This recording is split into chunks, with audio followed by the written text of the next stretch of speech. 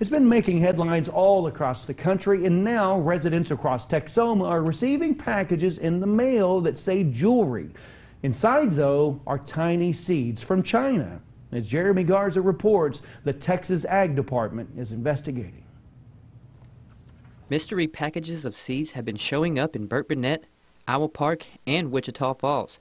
And now ag agents are getting concerned. One of the concerns is that when the package comes in, it's first they didn't they didn't order any packages, uh, and then sometimes they're listed on the package as uh, jewelry. Their top priority is to study the seeds that are being sent from China to see if they are invasive, as they could have a major effect on local agriculture. If it is something that would that would uh, be similar to mesquite, uh, I mean, it takes over millions of acres, you know, in the in Texas, uh, in particular.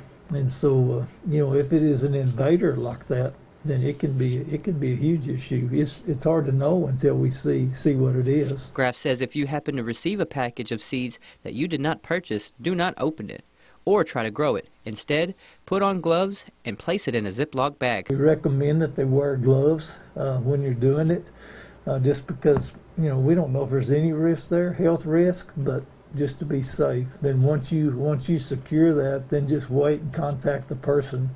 The contact person now is with Texas Department of Agriculture. And the Texas Department of Agriculture are gathering packages to see if these seeds pose any threat to other plant life. So in the meantime, people should remain cautious. Jeremy Garza, KFDX 3 News.